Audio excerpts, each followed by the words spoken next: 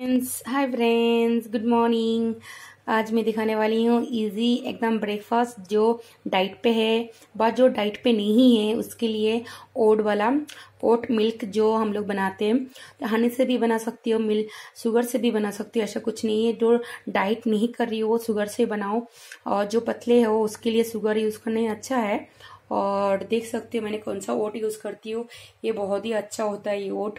ओट से बहुत कुछ सामान बन जाते खाने के लिए। मैंने लाइट ब्रेकफास्ट बनाई, मैंने या मी टेस्टी ब्रेकफास्ट बच्चों भी दिखेगा खाने का अच्छा करेगा। बड़े के लिए भी बहुत अच्छा है। और बहुत ही अच्छा लगता है। ये ओट बनाना जस्ट फाइव से टेन मिनट्स के अंदर बन जाते हैं। थोड़ा इसको ठंडा होने दो। उसके बाद दूध चाहिए ओट चाहिए शुगर चाहिए। दूध को पहले बॉईल कर लो। देखो दूध फ्रेश अच्छा है क्या? उसके बाद ओट डाल दो। उसके बाद थोड़ा शुगर डाल दो। मिक्स करते हो तो पत, थोड़ा पतला होना चाहिए गाढ़ा ज़्यादा नहीं होना चाहिए। बंद करो ठंडा होने दो। फिर प्लेट पे डाल दो। गार्निक्स करने के लिए सब फ्रूट ये है फ्रूट्स ओट बहुत ही अच्छा यामी टेस्टी हेल्दी ब्रेकफास्ट है।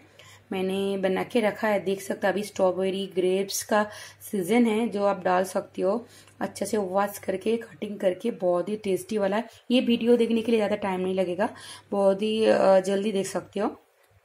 मैंने ओट डाल दिया। डालने का गार्निश करने के लिए मैंने बनाना डाल दिया।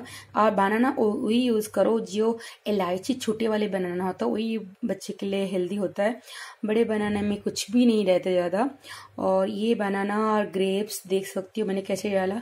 पहले मैंने डाल के रखे गार्निश करने के।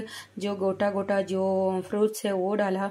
Strawberry banana green green grapes वो black grapes and strawberry uh, please like and subscribe. Thank you friend. Bye bye